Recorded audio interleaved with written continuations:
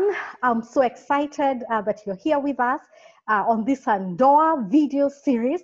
This is a series that is really trying to uh, help couples, you know, with very practical uh, lessons on what to do, what to do uh, when we are facing challenges. so today, I'm so excited. I do have a couple friend with me. I have Anthony Njoroge and Miriam Njoroge. Uh, Anthony is an executive pastor at uh, Mavuno Church, and I'm so thankful uh, that the Njoroges can be here with us. So karibuni sana. And um, I think Thank with you. this, uh, yes, as I mentioned in this video series, we are asking how. How have couples overcome their challenges? How have couples overcome their differences? And as, as previously mentioned in the, in the other videos, is that we normally come into marriage uh, with flawed foundations. We come, so to speak, with our baggage uh, from our families of origin. And when we fail to recognize that we have come with baggage, then we end up blaming, you know, uh, each other and end up having such, you know, amazing fights, not understanding, hey, you know, I need to look and to understand my own baggage. And so I'm really thankful that uh, the Njoroges are, are here with us. Uh, we want to learn from them. We want to hear how they have overcome their challenges, how they have overcome their differences. Uh, as I had been talking to the Njoroges earlier, they told me they've been married for 12 years. 12 years, you know, those are good years to have, you know, gone through quite a lot of, you know, quite a little bit of experience. And, um, and so I'd like us to get to know them a little bit more. And I'm going to start uh, with you, Miriam. And I'm going to ask the question, you know, just tell us, you know, uh, Miriam, who is Miriam? Uh, you know, how did you grow up? How many, you know, just tell us a little bit more about your family background. Okay, yeah. Uh, so I'm Miriam. Uh, yes, we married 12 years, blessed. And uh, so I grew up in a family uh, that was really close knit, uh, and uh, we were five girls. Uh, one of my sister passed on in 2004, but yes, we grew up uh, five girls, and both uh, my parents were very uh, um, at, at, like, they were there for us in uh, during our childhood. So we were very close knit and sheltered. Uh, so we never knew much about the public apart from either going to the shop and coming back. And that was life for us, and we enjoyed it a lot. Uh, Oh, so my did. sisters were my best friends. Yeah. Oh, fantastic. Okay, so how about for you, uh, Pastor Njoro? How was your growing up? What was what was that like? So um, mine was totally opposite of, uh, of, of Miriam. And so we, we, we grew up in, in a, I grew up in a big family. and so we were eight of us and, uh, and we were like back to back. So there was no like, I think the average age difference is like maybe a year and a half. So we were back to back, back to back. Yeah. Uh, and um, eight of us, and then now later we became nine. Uh, but also my dad was also polygamous. So I think in total, my dad has like 21 kids under his belt. And so I think, and we, we, we never used to stay together, but I think that uh, uh, brought a challenge in terms of uh, the parenting, uh, you know, of my dad and mom in terms of giving individualized attention to each of us. I think uh, because we were just too many, so we didn't receive that attention per se uh, from, from my dad and mom. I knew they loved us, uh, but there wasn't like attention, let's sit together, or hug, or talk. As in, you know, with, with eight kids, uh, it, it, it's hard to do that.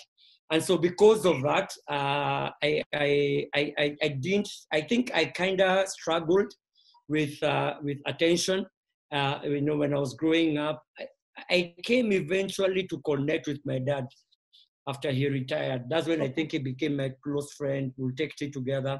But growing up as a young boy, I can't remember any time where you know I'll receive that kind of attention or affirmation uh, from my parents. Okay, so so Miriam here grows in a very neat, uh, kind of neat family, uh, very closely knit, and you grow up, you know, in a family where there's not that much attention. Was there any challenge for you? Um, what did that lack of attention mean? You know, lack of supervision. What what did that mean for you as probably maybe as a teenager? Yeah, so because of that, uh, we became very independent and there was lots of freedom in terms of nobody really cared what you did out there.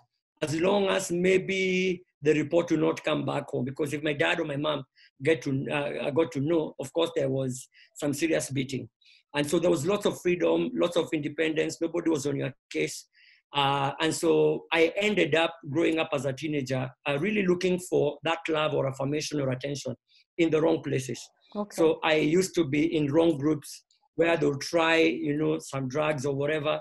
Uh, and so uh, it just, I, I was looking for that attention and love, you know, and to be accepted uh, in various groups. So I ended up doing some crazy things as a young person. Uh, and uh, uh, yeah, so I think I, there's nothing like I can say I've not tried or done okay. as a teenager. My life was just, yeah, lots of drama drama. It was quite dramatic. Now, it's so interesting that you would marry Miriam, who comes from a very, you know, straight family. Miriam, were there any challenges? I mean, it just sounds like it was very perfect. You loved each other. It was close knit. Uh, were there any challenges that you experienced? Uh, I wouldn't say I experienced any challenge uh, growing up because uh, anyway, I, I was with the people I'm used to. So that was perfectly okay with me. Uh, maybe I would say it's a wish. I wished that my mom would be more open to us, uh, apart from just being strict and tough. You know, uh, it's about school. We had a business. You're either in school or at the shop working and and you know just asking us questions so um how do you have friends out there or uh, okay is have you had it have you had your menses? You know something like that. That's what i would wish. I wish uh, my mom had given us okay. Yeah just a lot more yeah. attention or, or, just a lot more affection. Let's just let's just put it that way.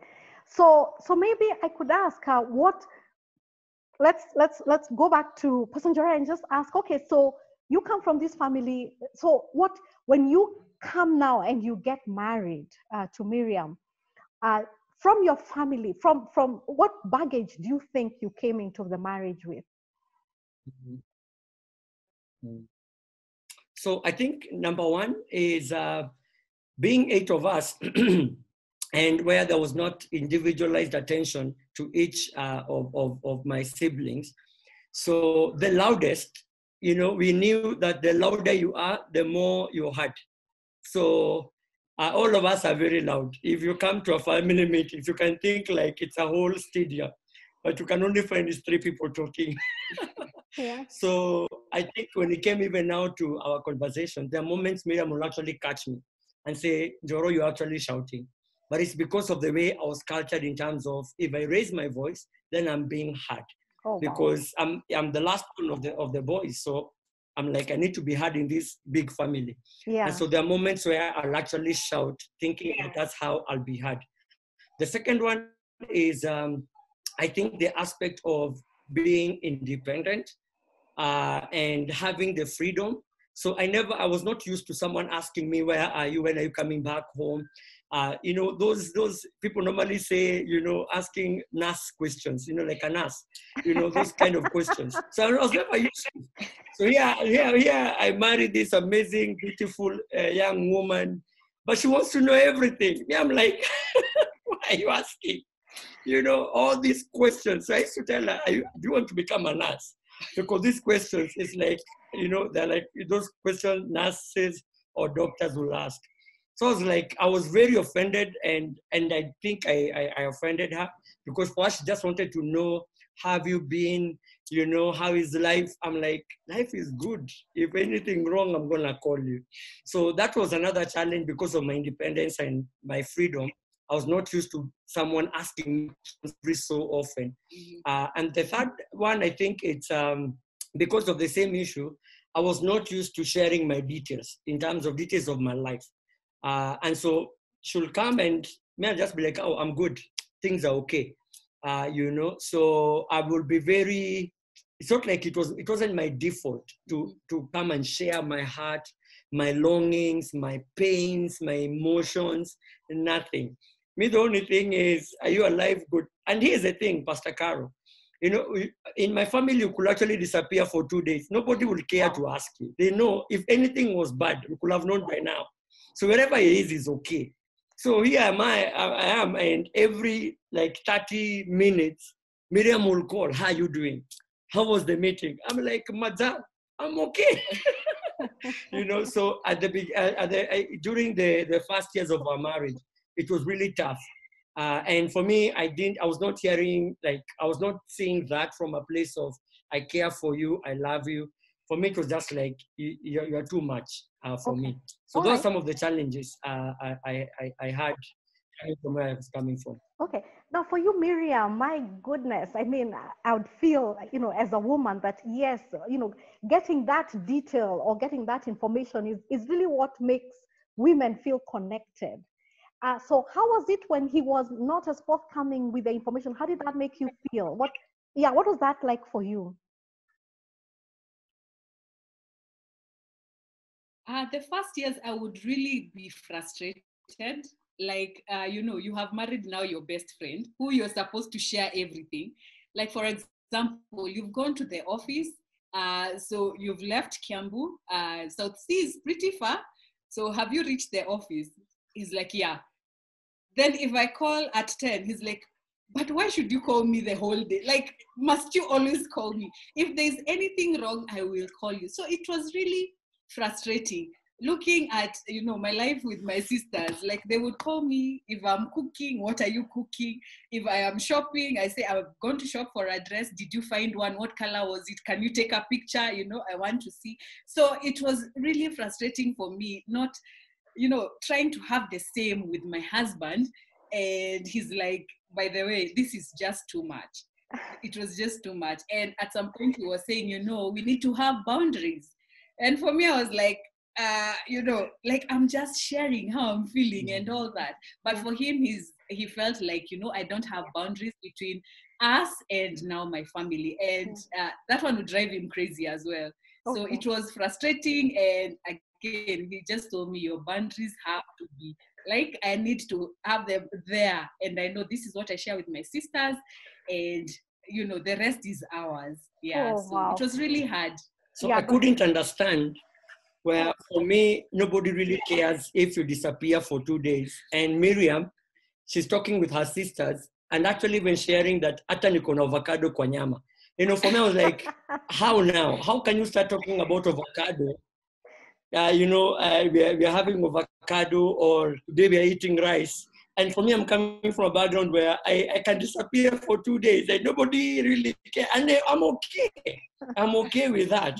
So every time I'll hear her, you know, talking to her sisters, I'll be like, actually, seriously, you're wasting airtime, you know?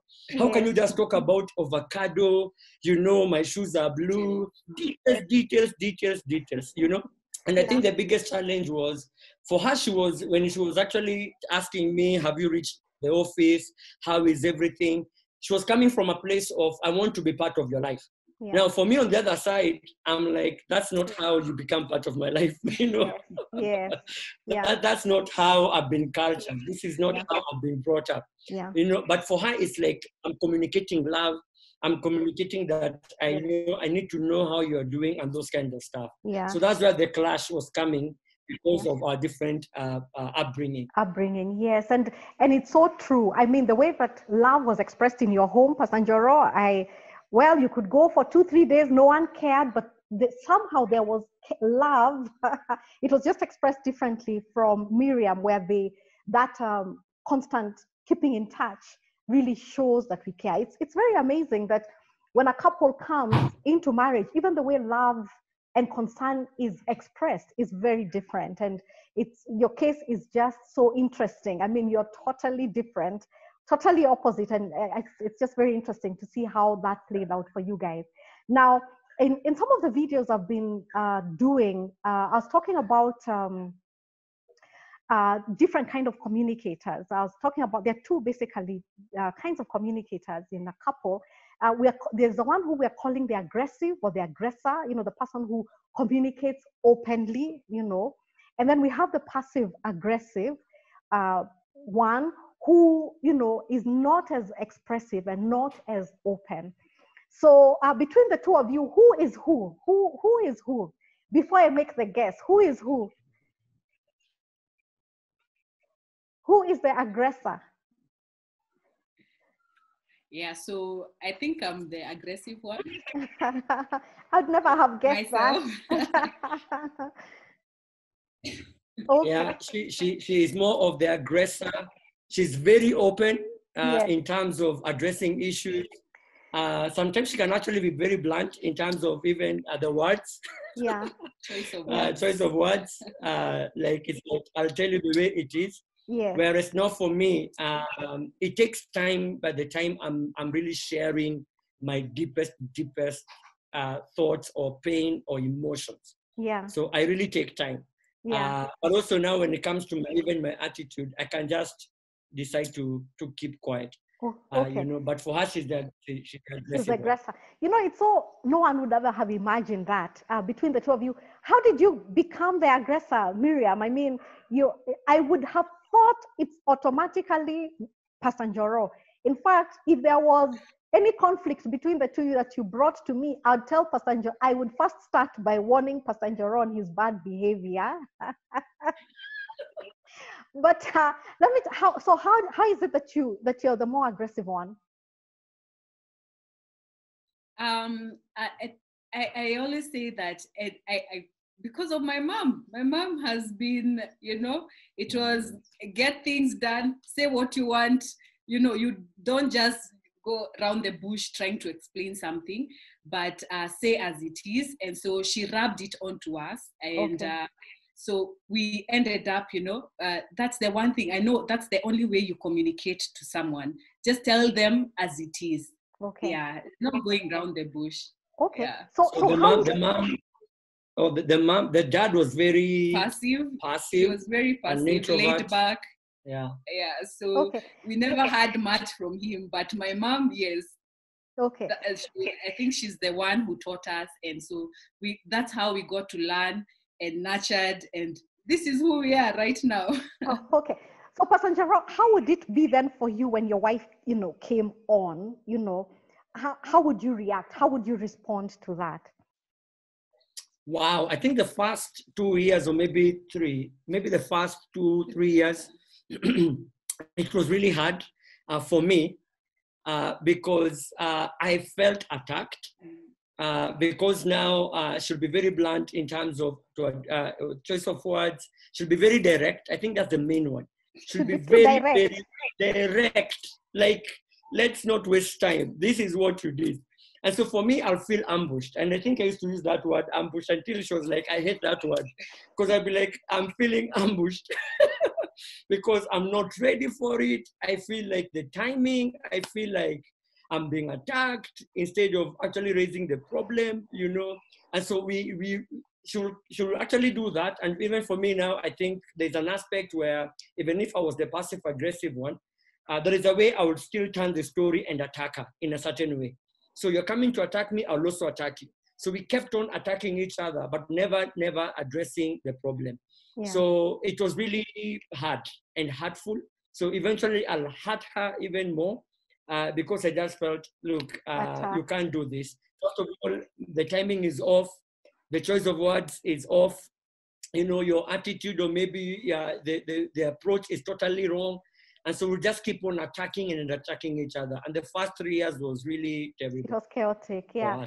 And so and so, what Very, changed very for, uh, for Miriam? What what changed? How did how how how you know? I'm assuming you're talking about it in terms of the past. So what changed? What enabled you now to begin having sensible conversations and not attacking kind of conversations? Yeah, so we we sat down because I was not getting the answers that uh, I want from whatever situation or a- any issue I have raised. So I, you know, through that frustration, I asked him, so how can I? Uh, because you're saying I am, uh, you know, like I am so direct, I am attacking you. So how would you want me to, you know, to have this conversation in a way that is safe for you? And so he said, you know what? Choose the right words. Uh, phrase the way you phrase your your sentences please do not come and just attack me so that was the first thing uh, learn how to phrase your you know your your sentences like this is uh, instead of just coming right at him, uh, learn how to phrase the sentences. And the other thing is the timing. So my husband did not want me to just, uh, especially during, uh, you know, in the evening.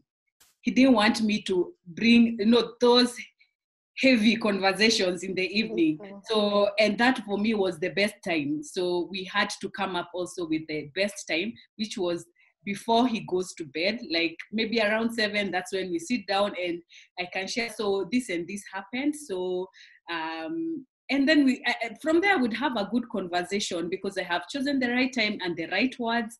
And also, we had a way of uh, just tackling the issues, and we had an extra seat, and we would the seat will be the problem and then we talk about the problem which is on that seat and not the person so that he doesn't feel like he's being attacked and also i don't feel like he's not listening to me but rather we are talking about that issue that is seated there looking at us Oh, Yeah. fantastic. Mhm. Fantastic. I mean, I love that. And, and I think that was a good coping mechanism where we said, let us not attack each other, let us attack the issue. And you actually even put a visual, you, you, you put a, a chair there and you you actually put the issue there. I mean, that's just so amazing. That, that is truly amazing. Uh, so, Pastor Njoro, um, I, I, we, you know, our time has gone and I want to kind of bring this to a conclusion. But I, I, I want you to address uh, a couple, you know, a couple who find themselves almost in the same situation that you are in, you know, really caught up, embroiled in conflict, and really unable to know, you know, they're, they're kind of stuck at this time and they don't know what to do. Uh, and maybe it's the woman who's really frustrated, you know, feeling she's not getting any answers, you know, from her husband, and you know, husband is just feeling attacked. Uh, what what practical, you know, advice would you have for them? All right. I think number one is you need to check your posture, you know, of your heart. If your posture is of I need to win in this argument, or I need to make sure that my husband feels bad about what he did, to be honest, every single human being, they have their own defensive mechanism on how to get back if they feel threatened. And if your spouse, either it's a woman, uh, right now it's a woman maybe who is trying to get answers from the husband, maybe you, the way you've been approaching the issue, the man is feeling threatened.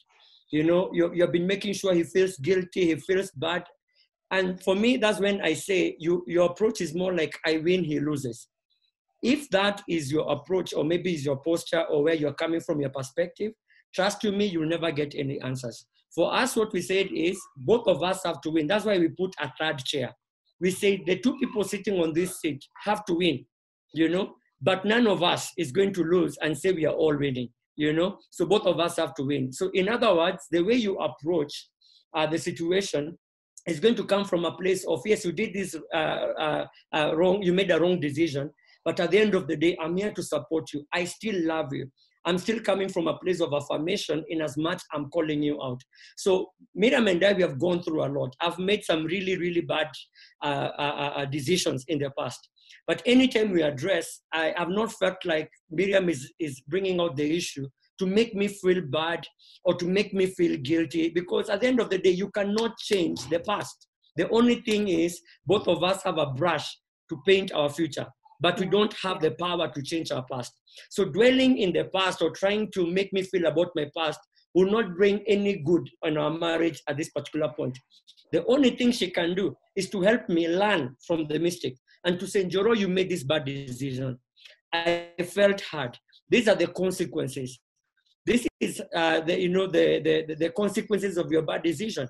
Man, I pray that you don't do this thing again. So we can only come from a place of what are we learning from our past, not necessarily making me feel bad about, uh, uh, uh, uh, about my past or my bad decisions. So the one thing I'll tell the woman is check your motive, you know, check your posture.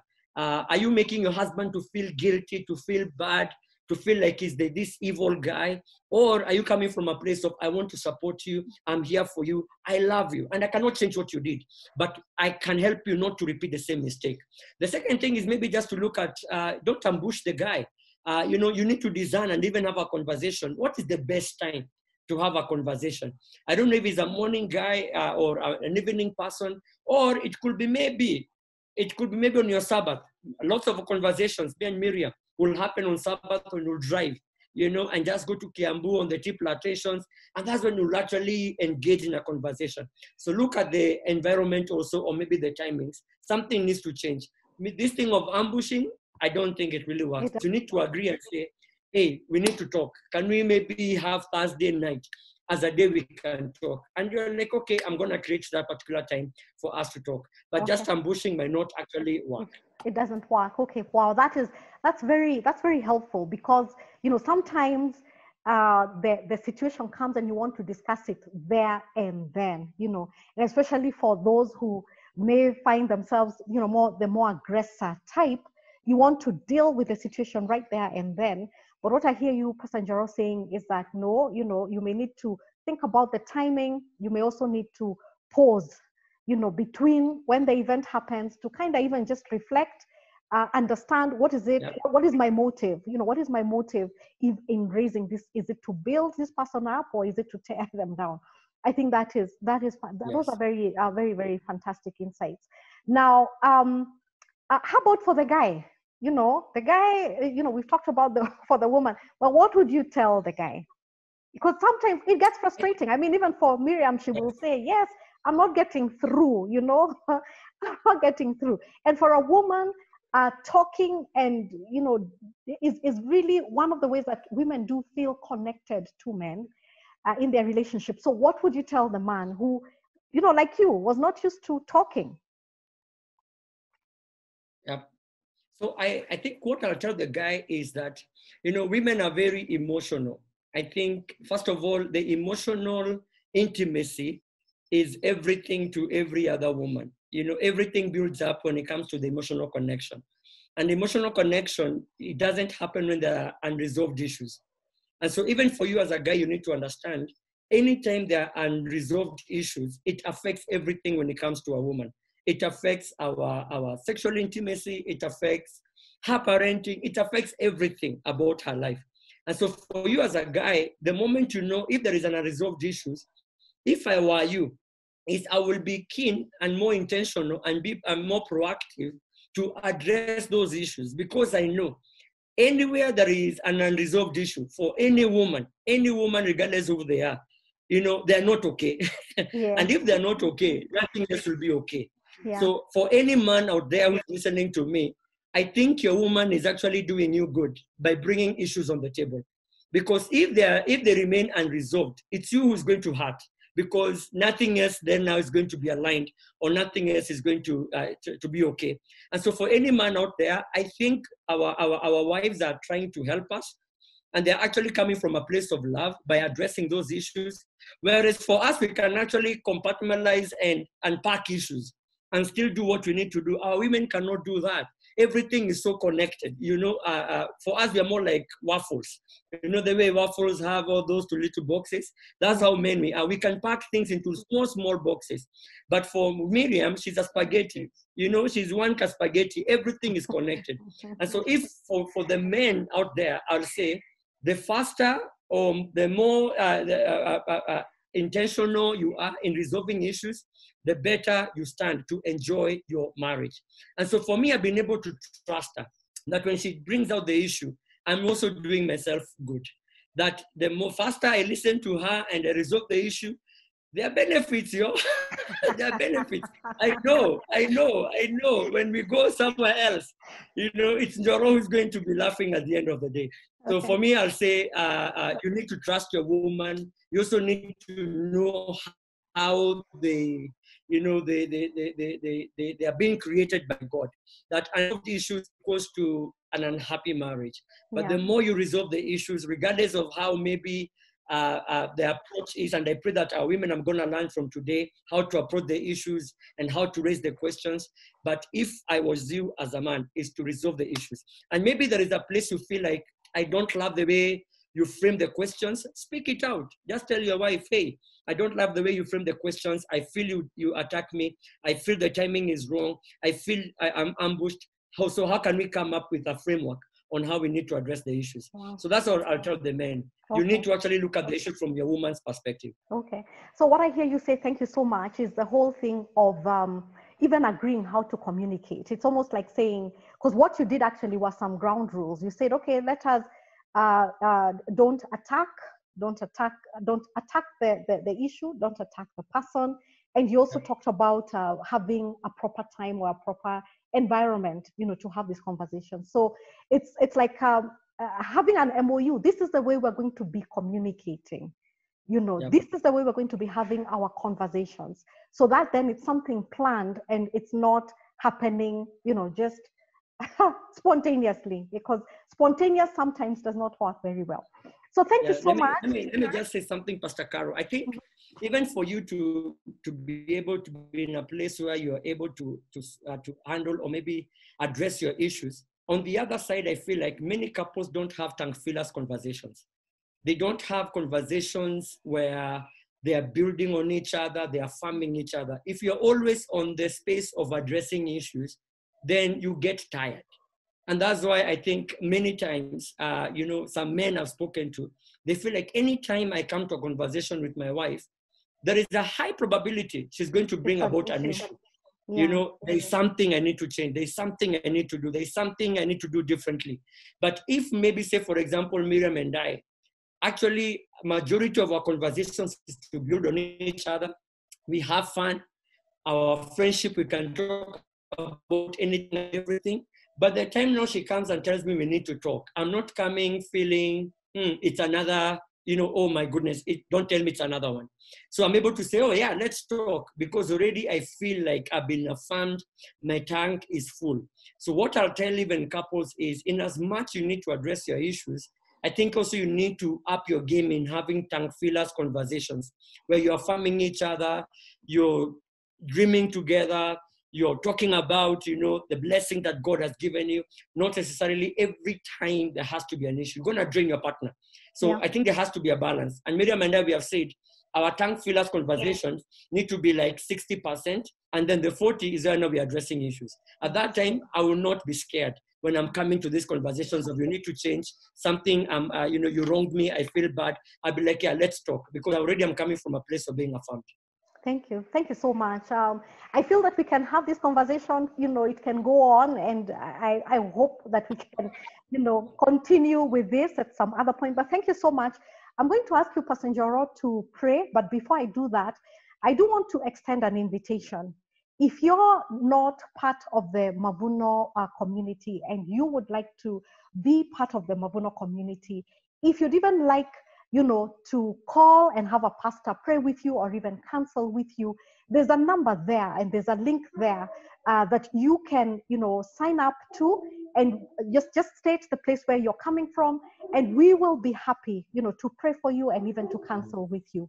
Now uh, what i've been doing is that uh, i have this little book it's called the negativity fast and um, i've introduced it before it's written by this amazing lady she's called uh, dr geneva she's a coach uh, she's a HR practitioner, and she wrote this book out of her own, you know, uh, feeling that she really did want to get onto a negativity fast. And I have found it very helpful in some of the nuggets that it provides.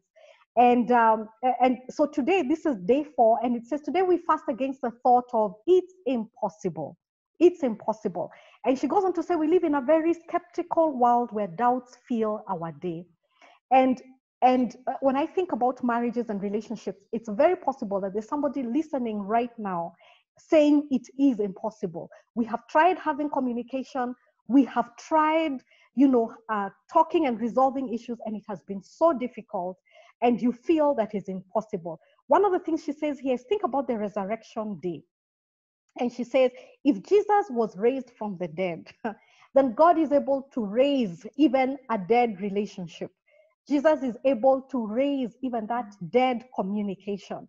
And our hope is that because Jesus is alive and because he's raised from the dead, God is able to raise anything in our marriage that is dead. And so that's, uh, I'd just like for us, you know, to pray that, Pastor Njoro, please pray for anybody who's feeling this is a dead situation, mm-hmm. that maybe today we can trust God that even this week, God will begin to raise those things that are dead for them in their life. So please pray for us. Amen. Our dear Lord, we thank you and we love you because of who you are. We thank you because of your grace. Thank you because you're the Lord who pursues us. We thank you, Father, because you chose us even before we chose you. You loved us even before we loved you. And Lord, even uh, tonight, I thank you for every single couple or every single listener. My Father, Lord, tonight, who feels stuck in their relationship or in their marriage. They've been trying to resolve issues, but they feel stuck. And Father, Lord, I just want to pray that, Lord, you're going to intervene in that particular relationship, in that particular marriage, oh God. I want to pray, my Father, Lord, that you may break down walls of pride, break down walls of stubbornness, break down walls, so my Father, Lord, of, uh, of inferiority or superiority complexes. And God, I just want to pray that, Lord, yeah, there's going to be humility. My Father, Lord, there's going to be brokenness. People will be able, my Father, Lord, to have a clear understanding and clarity, oh Father, Lord, that the moment, oh Lord, you brought them together is because you're going to use them, my Father, Lord, even to, to make more, to, to make them more, to be more like Christ, oh Father. They're going to sharpen each other. They're going to call out each other so that they can become men or women that you desire them to be. And so, Father, right now, where there is, you know, it's more like a dead bone situation in that particular relationship and marriage, I speak life in Jesus' name. Where they feel they have reached a dead end, Lord, I pray for a new beginning as they listen to us, oh Lord, in Jesus' name. And God, oh my Father, Lord, I pray when they come together, Lord, I ask, oh my Father, that your power will demolish every single demonic stronghold. There is, uh, the, your power is going to demolish lies and deceptions of the of the enemy over those particular marriages. And Father, we pray for life in Jesus' name. We pray for understanding. We pray for peace. We pray for the ability to forgive each other. We pray for ability to move on from their past. They cannot change their past, oh Lord. But my Father, Lord, they can build a better future together. And so, Lord, I pray they shall not hold on to grudges, oh God. They shall be able to be humble, to ask each other questions and to respond to each other in a respectful way. So, Father, we bless them and we pray for testimonies tonight, oh Father, that Lord, as they listen to us, Lord, something is going to shift in their marriages, in their communication. So we speak, we speak the resurrection power of God to come upon you in the name of Jesus. That right now, even as you maybe take up your phone or even text or call uh, your spouse and say you're gonna, we, we need to talk, the Holy Spirit will go ahead of you. Our God is going to go ahead of you, and God is going to, to give you victory. So we thank you and we give you praise, O oh Lord. In Jesus' name we pray. Amen. Amen. Thank you so much uh, for that uh, prayer uh, I would say, let us trust God. Let us trust God. Let us invite God into our marriages and let us trust Him uh, to resurrect anything that is dead. Could it be love? Could it be hope, uh, faith? Let us trust Him uh, to resurrect that. So, thank you so much, Pastor. And that's all that we have time for. Uh, until next time, we are rooting for you and we look forward to just spending more time with you. So, thanks and God bless.